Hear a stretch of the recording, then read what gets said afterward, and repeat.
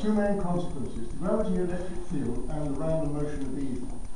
We, we also saw that the uh, mutual coherence of these particle, uh, particle vortices sets up in any mutual, I mean physical coherence, uh, gravitation, a radial density uh, gradient of ether with two effects. The mechanical response of vortices to that gradient is a turning force, and the ether density gradient as a result is a GE field. And we saw how widespread in the universe uh, it was it is, does seem to be. A random particle and resultant Higgs motion. This is where we, the present talk really takes off.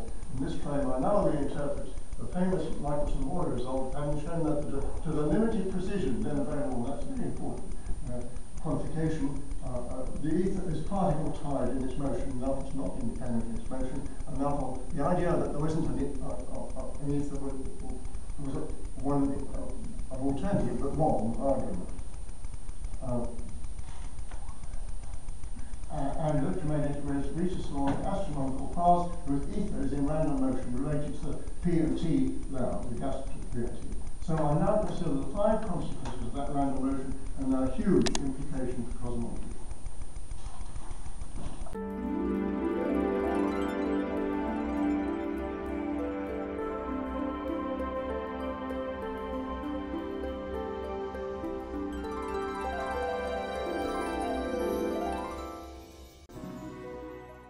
Four transmission gates. All four are wavelength independent. They're not spectrally uh, distinctive in any way, uh, and path length cumulative. The individual increments are proportional, so if you get enough of it, the overall growth is exponential, but to start with it looks linear. Uh, all are steeply enhanced by ionization, uh, and we'll come to that a little bit later, having a common cause that incidence will be correlated. Bit, here, but we don't see it now or whatever.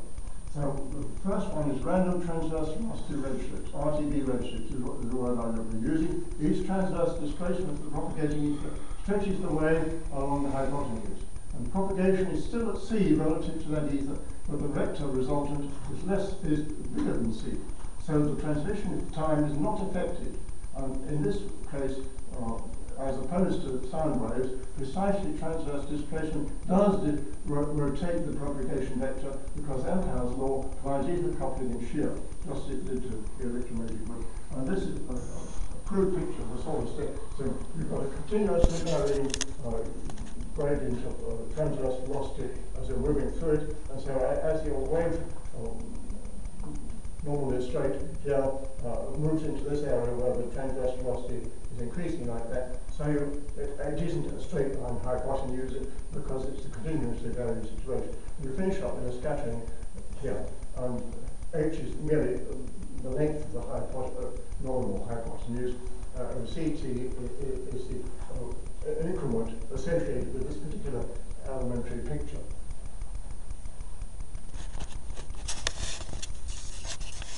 Um, wavelength dispersion random longitudinal velocity line broadening, and frequency modulation due to longitudinal components of propagating ether motion. Uh, variable this offers a valuable alternative to rotational broadening when one side of the star is going away from you the other side of the star is coming towards you, uh, and to invoking surprising turbulence. Now, uh, Ruben, um, uh, Otto Struve in 1951 pointed out the fact that stellar class F5 was also suddenly a drop in what had been interpreted as line broadening due to rotation. But how do you suddenly dispose of the angular momentum? He pointed out that, that problem. And the answer is that uh, chemically you can show that the atmosphere is getting thinner. Uh, uh, deflection scattering, this has directional properties. Um, diagnostically different from radio scattering and is seen in the Earth's atmosphere. And that was what actually put me onto the whole thing. I was doing an astronavigation problem, a project uh, to be done from, from a high-flying aircraft, and, and the sky brightness distribution does not correspond to radio scattering. Uh, there's a, uh, an anti-solar brightening spot that emerges from the um, um, horizon as the sun's altitude goes below 40 degrees. And that brightening spot is not explainable in radio terms, but is explainable in terms of deflection structure, as I showed it the red, and I got nine months devoted to pure physics uh, in an aircraft firm uh, because my first class physicist managing the, the establishment thought it was very important. Um, uh, and the colour of that patch, extra brightness, is solar, it's not blue.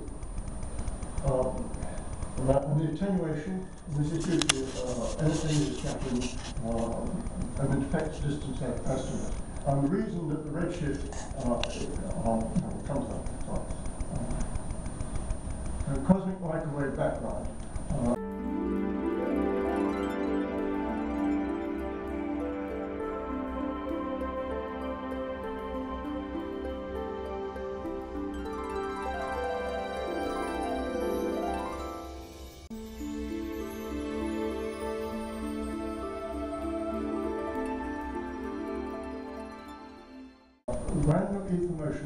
Corresponding accelerations of electric charge, and these will generate synchrotron radiation at frequencies that correspond to the gas plasma temperature of the extended region through which it comes to us. So its temperature may indeed be the, gas, uh, the temperature of intergalactic space, slightly enhanced where the path passes something hot uh, or, or depressed where it passes through no such hot patch. Uh, so this raises the whole question about the Big Bang. We lost what has been regarded as a crucial indication of the Bang.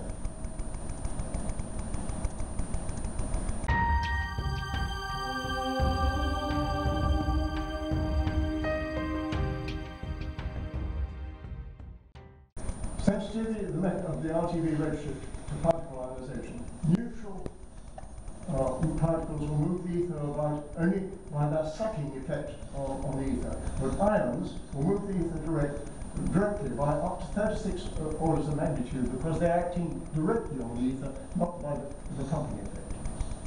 Uh, and this is the ratio of the uh, force between uh, two identical particles, uh, the, the electromagnetic, electric force and, and gravitational force. So the plasmas are uh, um, atmospheres and galaxies are expected to impose very large, or potentially large, uh, RTV redshift on emergent radiation and must be allowed for dynamically in any virial calculation as to the longevity of the group uh, or in assessing the relative positions of atoms of galaxies and clusters. And the velocity equivalent values for any stars in binaries where you've got an anchor estimate what the system is doing for the other stars that are doing it, range up to more than 200 kilometers, and it's much more for spirals where you've got some other sort of anchorage. Note that stellar redshift very steeply with line reversing level and across the disk in a way that's consistent with zenith angle dependent RTV action, but not GR gravitational action based on mass bearing photons, which isn't available in CT. And this is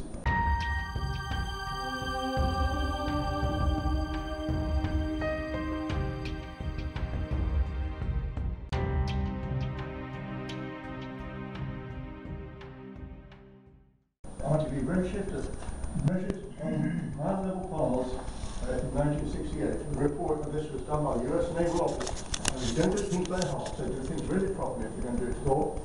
But it was published in Science, who deliberately brought up the uh, explanation at the end, so completely misled. It's not it on. And they took, each data point was for intercloud set of three seating clocks, intercloud to make sure there were no roads in, in any group, of the groups, and stationary, they sat stationary for a week. So we're not talking about Doppler effect at all. And they took the, uh, I, I took, drew this line and measured this, slope, 10 to the minus 15 uh, per kilometer, and uh, extrapolated that to uh, intergalactic space parameters that I then thought, and I got, got that. How excited I was. Uh, but that density seems far too high for intergalactic paths because the density I took was supposed to be the uh, Density uh, entire universe or something. Uh, but I conclude that even allowance for quite a low degree of ionization, I've just shown that huge number of orders it will do, uh, uh, will still yield an acceptable H naught. So I now proceed on the basis that cosmic redshift isn't a velocity. And that means to say that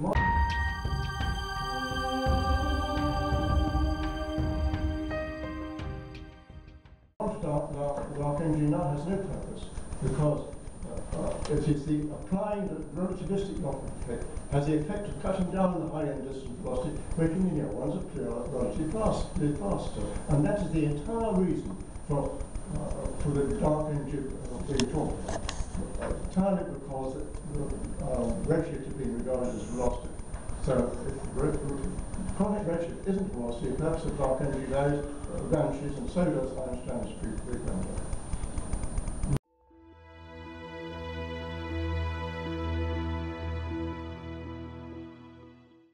number. continuous creation cosmology. Um, uh, we found that particles are vortical constructs and random motion of, of ether have in principle, rather coupling the shear displacement, the potential for auto-creating such vorticity particles. The random motion can be, uh, it's not going, to, this is going to shear motions. So, uh, especially particle-antiparticle pairs. So our CT cosmology is that the universe began in its undefinable distant past as an infinite extent of randomly moving ether, from whose motion energy all mass in the universe has progressively been created and is ongoing. And as gravitational interactions and glass star formation drive energy environment uh, higher, so the rate of auto creation around that place is enhanced, providing a positive feedback for formation and progression of both galaxy clusters. And uh, here we can uh, look into the chemistry of this.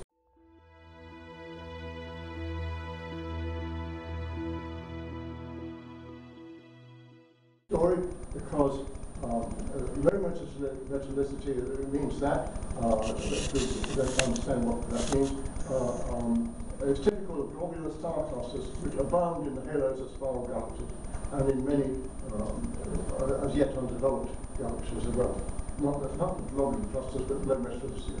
And the Big Bang cosmology, top two metallicity has been taken to record very early formation of the material before stellar activity built up the metallicity.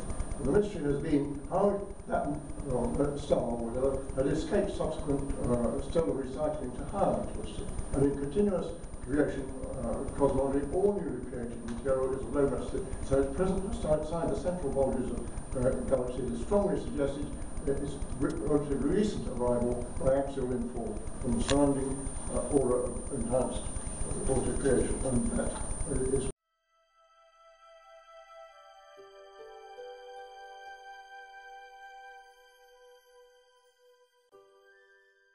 where we see uh, outflow from the disk, uh, driving dust, uh, which has been created by stellar activity within the disk, uh, dust being the, the, product stellar activity, and uh, that confirms that we've got an outward flow mechanism, bringing dust from the inside outwards uh, and, and, not being able to be shoved further because it's not ionized, and so the field has uh, a very little effect on that. Uh, we also saw that similar uh, flow must have been present in the protoplanetary disk, uh, and that was what gave us the outflow. And evidently in spiral galaxies the pattern is the same. Newly created material forms quasi-polar infall streams, is ionized at the bulge, and is then driven radially in the disk by the G field.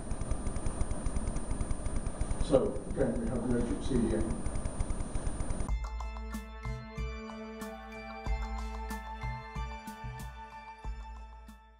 functions of the axial infall streams are the gravity field of the spiral's disk will tend to focus these stream both in the bulge and as this matter spreads out it will maintain star formation and growth in the mass and action will maintain the spiral dynamics which is what I talked about earlier.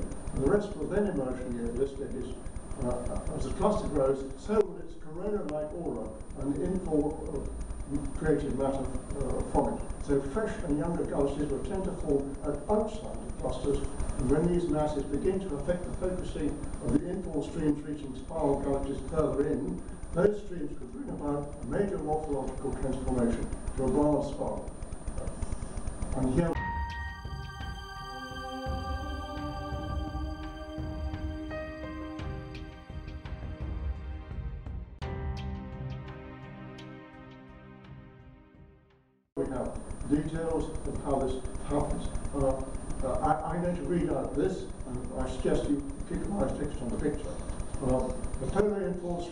see the infall, see the inset here, uh, are supposed to have been deflected by me, uh, supposed by me, been deflected and misaligned by the gravitation of other galaxies and clusters.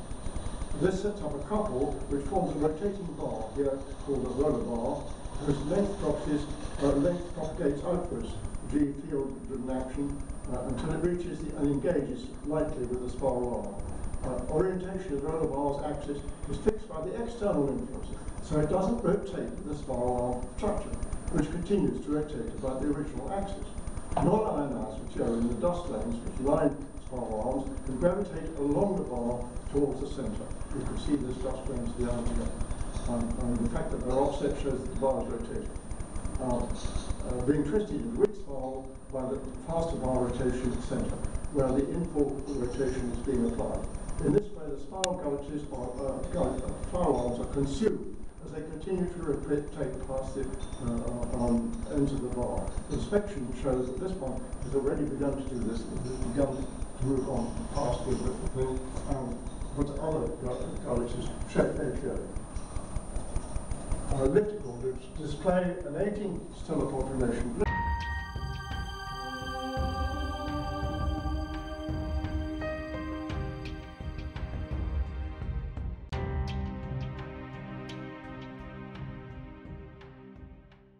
Well, no internal structure. Um, and the death of uh, plasma new star formation. Now, it's always been recognized that they are the, the, uh, end point of, of galaxies. Uh, the star formation is just dying. You're not putting in any new material to create a continuing star but uh, why do they predominate in the central regions of major clusters? Uh, the answer is this. When a cluster grows to the point where the infall streams of new matter from outside are captured by other galaxies before they can reach the interior, maintenance of the of the spiral uh, uh, uh, will cease. And lacking a supply of plasmogenic material responsive to the field, the bar will undergo uh, endwise collapse and the result will be an elliptical galaxy, a patterning action, which is otherwise a, a problem how they from very flat uh, on the spiral to patterned three-dimensional uh, patterned uh, elliptical has never been otherwise resolved, uh, uh, being due to the axial rotation of the former part.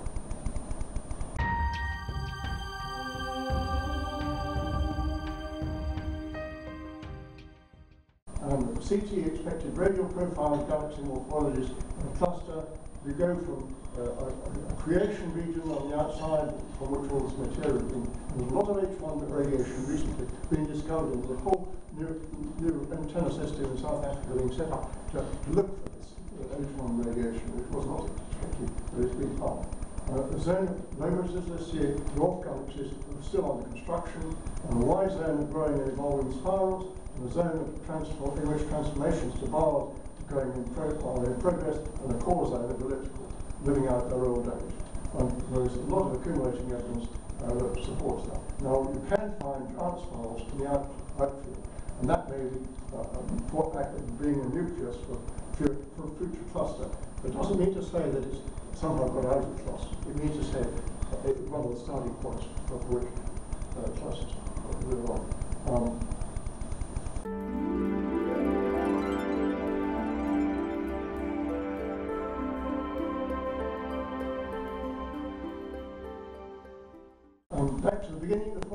type 1.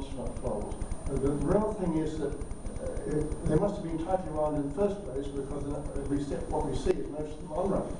And here are two very rare examples. In the early stage of formation, core had, uh, this is an early cosmology, if you like, but, but actually it can happen at any so it's continuously one situation. Yet in the early stage, the core won't have the mass and energy to attract and ionize axial infall. So uh, ionization being low, the G field of the core will have little. So the material converge gravitationally upon the center with conservation of angular momentum, producing a tightly wound spiral. There'll be nothing to oppose that in the way But as the mass grows, so will ionization get started, and it will set up this typical uh, axial infall and discard flow pattern. And we know the rest because we've just been looking at it.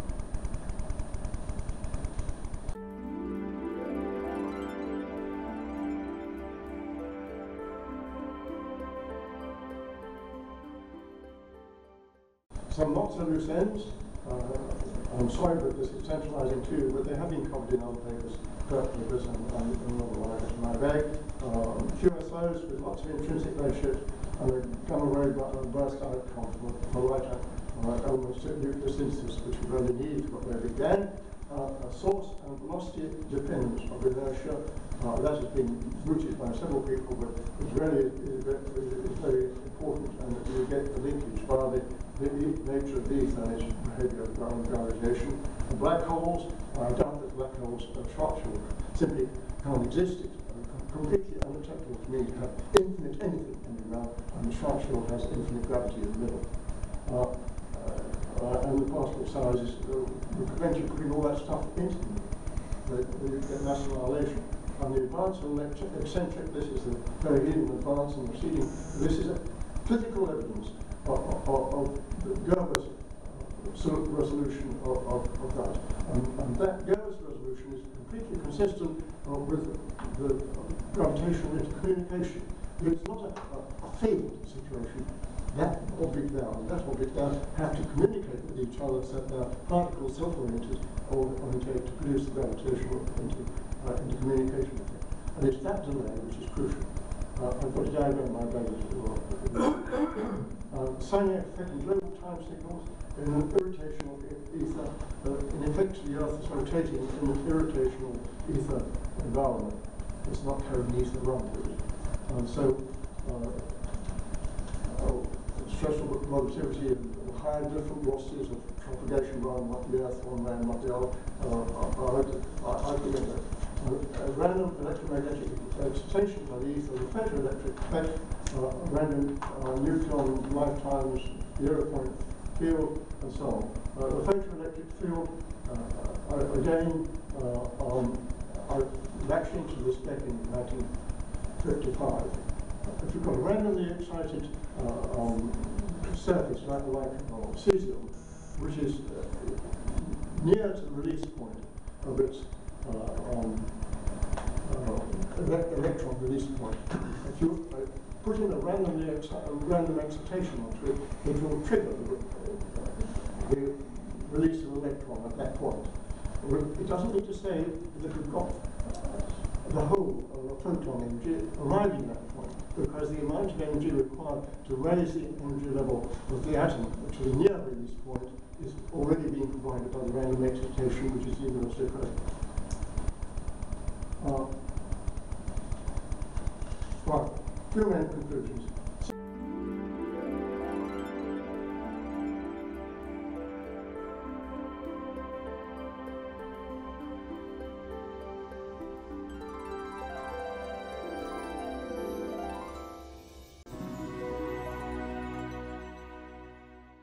simply by rejecting two physical absurdities. Uh, the, the TM waves don't an ether, uh, and secondly, that particles with finite properties can be of zero size. It appears we have, have illumination on every topic that I've examined so far. I, I, I prefer to look for other. I've always paid of the fatal flaw.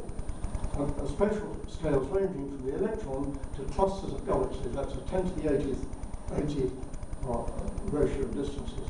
And that is what you should hope for and expect when you do something in fundamental physics. Slick was saying, oh, it just applies here. And, I, I can't tell, tell, you whether it applies anywhere else. Uh, and uh, thirdly, there was no Big Bang, which assumes the variant of, of absurdity of 1b. In other words, particles with finite physical properties can be zero size. Uh, and random motion inherent in CT Meissner redshift, rather will, will observe to be a sufficient uh, uh, transmission effect which along with three others is also observed in uh, stellar spectra. Uh, many of them, you can, can, can, get two or three of the others uh. Major objectivity, no Big Bang, no dark energy, no CDM, ongoing and observable, uh, therefore constrainable by observation, or autocreation of matter, and CMB radiation tells us that the actual galactic temperature of, of, of, of universe or, or class Uh, these are all strictly observational constraints, and that's why it's so objective. No hypothesis is uh, everything is being constrained by, by these things, not these things which you have to invent and mass for. Uh, CT surely merit further development by others.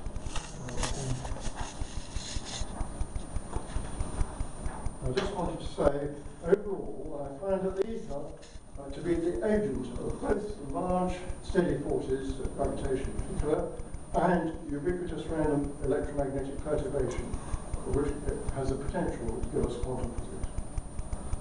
So, the single ether is capable of these two aspects, of steady motion and random motion, uh, of doing pretty well uh, the kinds of things that we really need. Thank you. Thank you, Miles. Any questions? Comments, questions? Yeah? Uh, I want to uh, uh, uh, address some uh, important distinction introduced by Polish physicists Kopczyński and Trautman. This is Trautman is the, the most important be, between um, geometric at ether and uh, material ether they uh, understand material either as some substance transmitting, for example, uh, Well, electromagnetic wave yes, yes, different from that. yes. And then uh, geometrical ether is just uh, a privileged reference system. Uh, But must have physical properties in order to be deciding the velocity of light. C, because of the ratio of two If, if there is, uh, they say that uh, if there is a material ether, then it follows that there is also a privileged uh, frame that is geometrical ether. So my argument, uh, argument from my talk was that we need at least geometrical ether because if we don't have a geometrical ether, uh, then uh, we must uh, uh, conclude that, that time does not flow. Yeah. Uh, but the argument uh, which was at the beginning of your uh, first uh, talk uh, was also in favor of uh, material. No, not material. I said it is massless, so it's not material. Uh, yes, it's exactly so the whole point. substantial or so, uh, how uh, you would uh, like to, to, to call it. Maybe there's a, a special kind of matter which is massless.